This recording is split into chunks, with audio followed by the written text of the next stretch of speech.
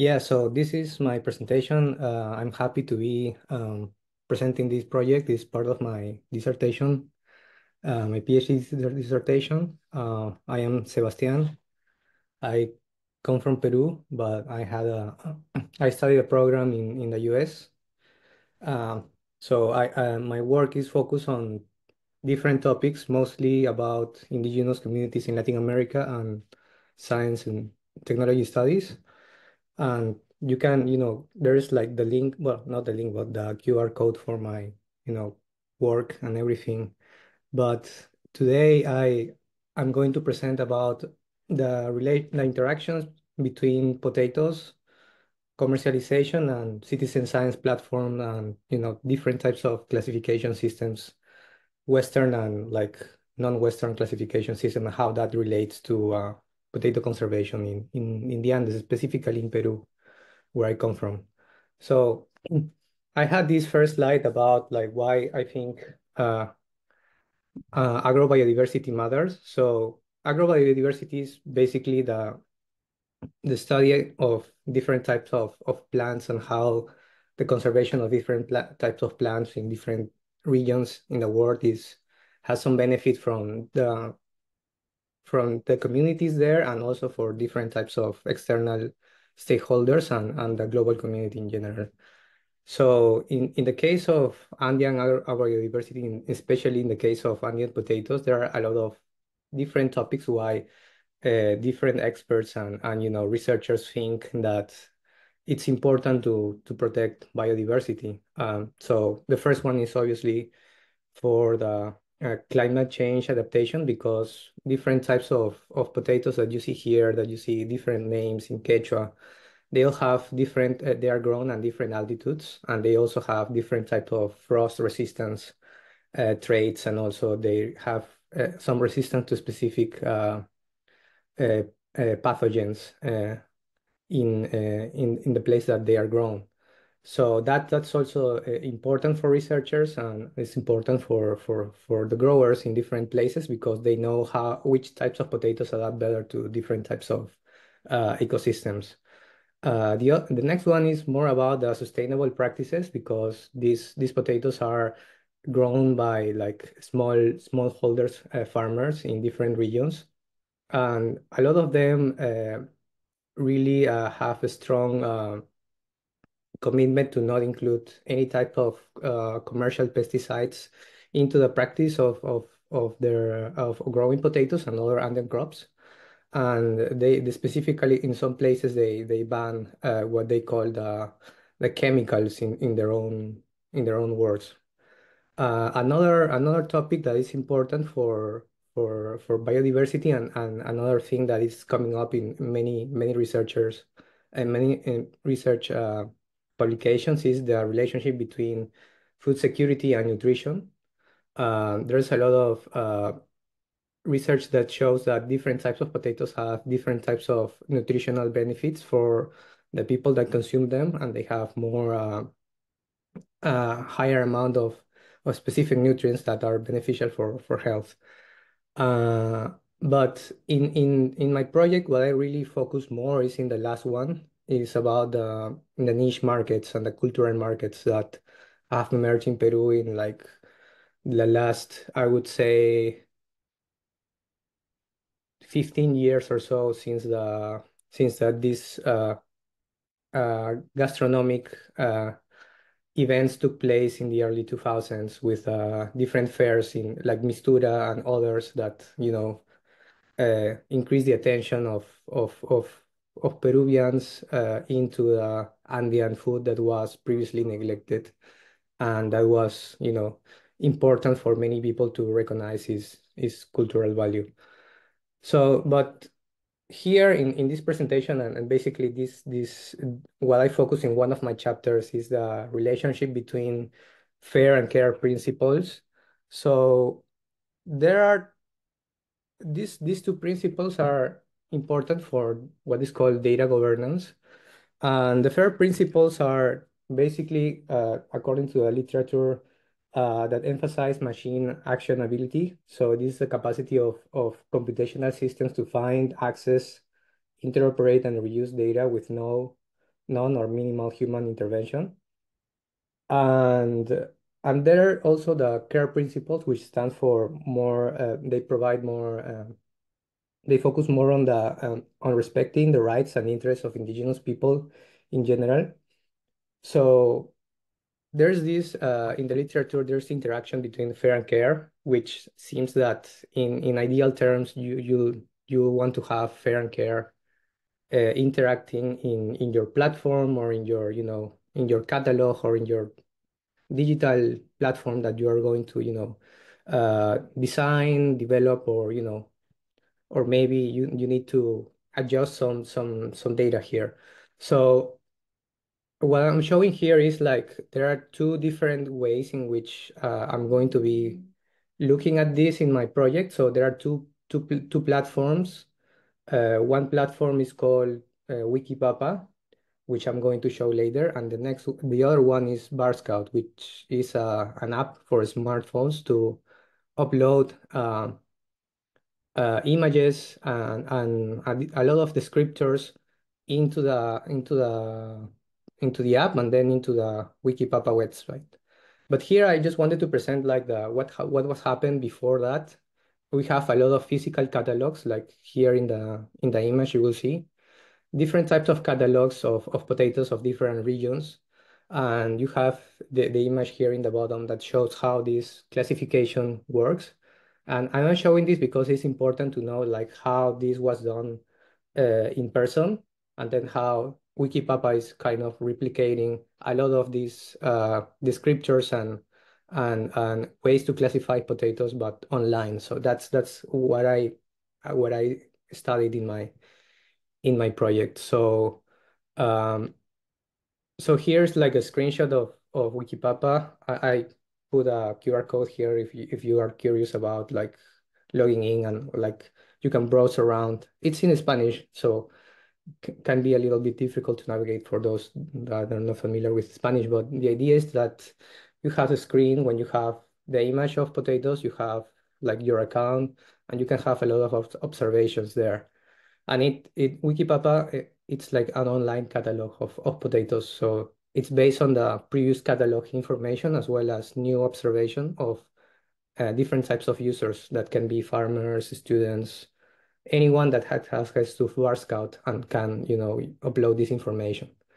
Um, so so quickly, what you can see here is the name in the top. So this is like the the the kind of the formal name, and then you have different types of like synonyms names or, or alternative names. Some some potatoes can have like seven alternative names or so uh, depending on the zone uh, that they are grown and, and that you know the language uh, you'll have more more uh, synonyms in, in in places that uh, speak Quechua rather than speaks that than rather than places that just focus on that they speak more Spanish.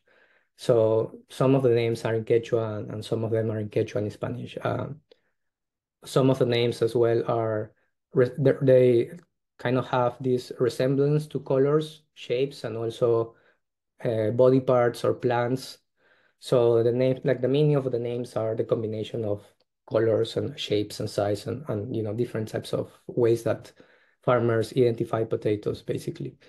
Um, but and, and this one, this slide's more like about the interaction between the the app and this new uh, brand that uh, that's called Miski Papa. So there, I'm working with a, an, a group of, of growers that is called Aguapan. So Aguapan is this national group of potato growers in Peru that just grow uh, Andean potatoes, native potatoes. And they they have their own brand that's called Miski Papa that was created uh, before the pandemic. But during the pandemic, they were not able to sell them, uh, sell potatoes in person in the fairs because of the restrictions, right? So they came up with this idea of like selling potatoes online via uh, uh, WhatsApp groups and Facebook and, and other online resources, especially in cities like Lima. So they kind of like provided this service with the idea to reduce costs for growers.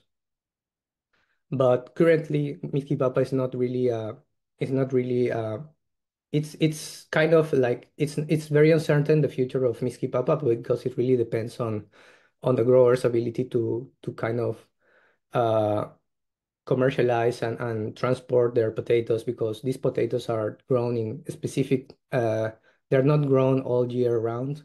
And the distance between different cities is kind of complicated to figure out how to organize um, delivery and, and everything um, so and, and this slide shows like I just wanted to show like the commercial value of, of potatoes because we often think that you know biodiversity you know has a scientific you know value which is great and and that's why there's a lot of catalogs there's a lot of study about like biodiversity in in different places. But in the case of potatoes in, in Peru and I think that in other cases as well uh, there's this connection between commercialization and conservation of biodiversity and there's like this relationship between them that one cannot exist with without the other so you have growers, you have fairs, and you have also people in the gastronomic sector that that kind of they are involved in this development of value chains uh, of of potatoes and other type of products, right? So that's I just wanted to make that connection. Uh, so so as you can see, I I I mainly interested in the connection between conservation and commercialization and how that that looks like for for potato conservation. And I, I found like many things in my in my dissertation, but here I just wanted to present two of them. So basically, one is more about the fair and care principles. So I think that even though there have been efforts to implement them, there have been some struggling to foster specifically care principles in in in the case of Wikipapa and VarScout. And I'm going to present some slides to to share like uh, to explain why I think that formalizing biodiversity is important to think about fair and care.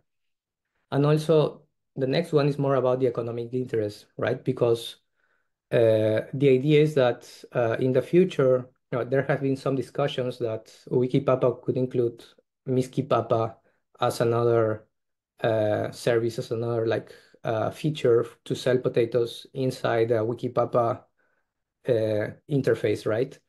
So that that's kind of raises a lot of questions because you will have like a basically like a online catalog, like a scientific citizen science approach that incorporates more like a e-commerce features inside of inside of the same platform, right? So that raises a lot of questions about the science uh, and uh, and the, and the, and the, uh, and the, and the um, how rigorous is this data and also like the involvement of of farmers into these platforms, right?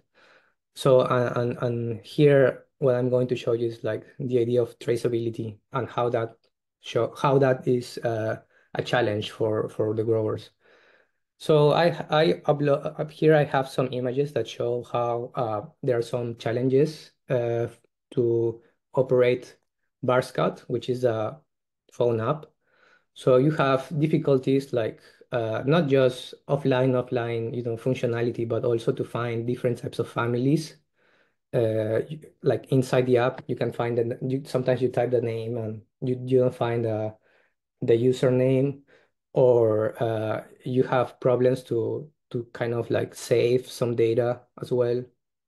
But also beyond those types of functionality, there are there there are challenges about like some types some some growers, uh, especially because Andean growers usually are above 50 years old.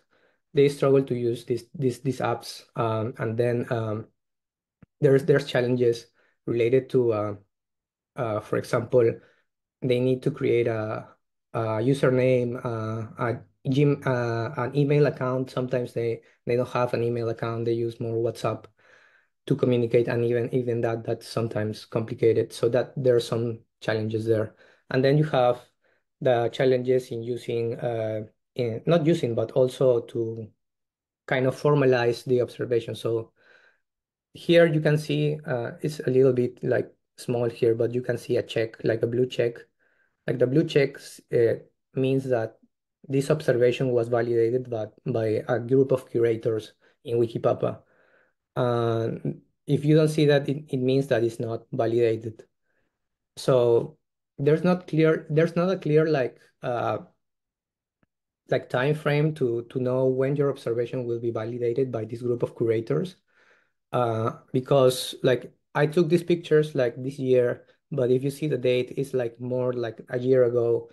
So it's not clear like when you'll get your, you know, your observation formally included into the catalog, the online catalog, and if some some observations are not really incorporated into the into the catalog because there have not been, you know, filling some criteria to be considered a part of the catalog as well. Um, and this one is more about the, this slide is more about the e-commerce features because in, in this website you have the bios of the of the growers.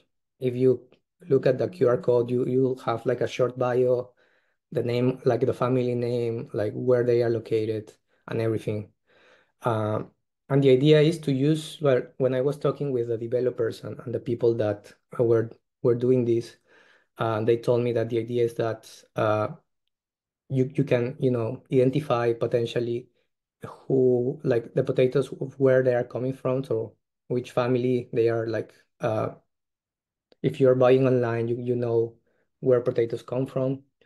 But the idea of like sustaining this over time is, is complicated because uh, it's, still you need some logistical and organizational challenges that some of some of the farmers because they they they spend a lot of time doing other activities they are not really willing or interested in doing. So this idea of like thinking that they can take over all the value chain or like focus all their attention to on these types of activities is really uh, complicated and, and like it's not really clear if they are going to do that in the future. In the past there was a small team of of members of like some of their uh, families, uh, younger family, they were taking care of this, but over time that became unsustainable because that was also cost, like an additional cost to their operations. Uh, so some of the things that I, I really wanted to say before I like my time finishes.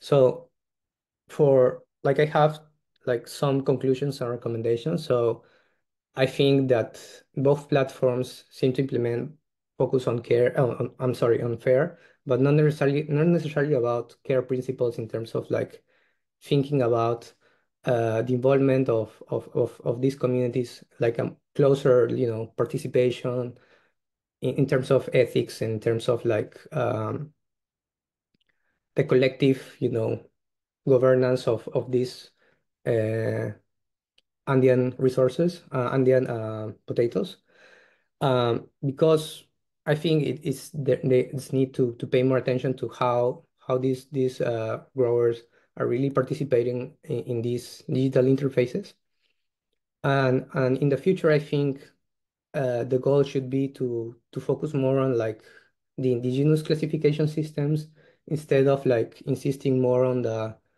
uh, Western uh, science uh, focus on the, for example, if you look at the catalogs online, you'll see a lot of descriptors that are not really what farmers focus more because I was uh, in in workshops participating with them and they really didn't engage with those descriptors as much that they engage with like the meaning of the names and how that names relate to the different varieties of potatoes. So that's something important to, to take into consideration. And then uh, finally, there's uncertainty about the e-commerce features because uh, there's a lot of logistical and organizational challenges because of the, you know, coordinating deliveries in different points of, of the countries also different difficult for, for them because uh, sometimes you need to, if you're a farmer and you live far away, sometimes you need to walk like eight hours to reach to the nearest village, and then you need to pay.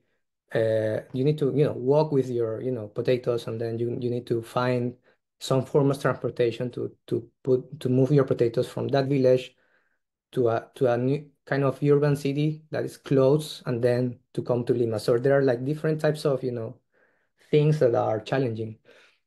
So, and, and, and the main thing I think is to kind of think of ways that you can guarantee viability, economic viability, but, also conservation. So that's, that's, I think that's currently the challenge there.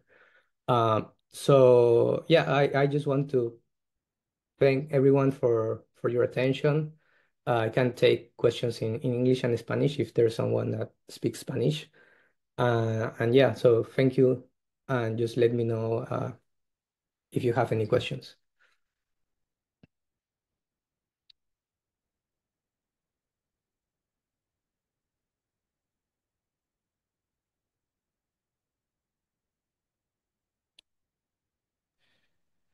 We got a couple questions. Who was first?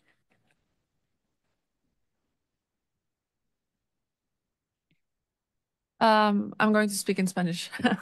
eh, hola, muchísimas gracias por, por esta conferencia. Te quería preguntar si han considerado replicar estas actividades o estas, este, estas herramientas en otras áreas, en otros lugares. Porque estaría muy, soy de México y estaría muy interesante ver cómo replicar esto a nivel regional o igual y expandir la información a otros, a otras latitudes, vaya. Sí, eh, it's, okay if I answer in Spanish, in English, or... Sí, sí, sin pedos. Gracias. Gracias, sí, no, este, un gusto, este, sí, no, este, al menos en Perú yo conozco el caso de, de la papa y también hay un caso de cacao que se llama Mi Cacao. Es un proyecto este, también con la cooperación alemana que ha empezado hace poco. Acá tengo el, el flyer que es un poco esta relación entre ciencia abierta y este, cadenas de valor, ¿no? Yo sé que eh, yo conozco esa otra experiencia, no la conozco tan de cerca, este, pero me gustaría empezar a hacer investigación más cercana con eso. Eh, de otros casos específicamente no sé, pero yo creo que eh, cuando estuve haciendo mi revisión también encontré que habían grupos en, en África que también están implementando el Bar Scout, pero en África, ¿no? y tienen otro, otro tipo de cultivos allá que también lo están usando y están fomentando también la participación de mujeres en este tipo de actividades, ¿no? Eh, entonces, esos son los casos que, que, yo conozco y creo que hay, hay, hay bastante oportunidad para ver estos temas en, en, otros lugares donde hay cultivos, ¿no? Donde participan comunidades y también hay cadenas de valor eh, que también están eh, participando de alguna forma en, en este tipo de actividades. Gracias. Uh, quick question. So, uh, I guess more and more scientists are putting the data online, either in Commons or in other depository. Um, do you see that as a possibility for uh, conflicts in the future? Because uh, especially if those data are released uh, either as a public domain or Creative uh, Commons license, which allowed the use of uh, reusing of the data, which also violates the, the, the care principle that you stated. Yeah, I think that uh, that's that will definitely be a um, a challenge in the future because all of the all of these activities are so farmers are aware of this, but are not necessarily actively participating in, in these activities uh, because they lack some skills to kind of like, um, for example, engage in in these apps or or you know even have the time to you know focus on on these activities uh, but I think like younger generations uh, could be uh, also uh, thinking about this. I know that in the case of Aguapan, they have a, a group, uh, a small group of, of young young uh, farmers, you know, sons and daughters that are interested in in some of these type of activities. But these types of conversations are are very new for in the case in the case of of Aguapan and farmers in, in, in Peru. So it's kind of like even starting these conversations about you know what what would mean what what care means what fair means like where you know all of these conversations need to need to start at some point so that i think that could be the first the first challenge there but in the future definitely yeah Great. Thank you, Sebastian. Well, we are at time, but thanks so much for joining us remotely and presenting. Great presentation. Thank you. Yeah, no, thank you very much.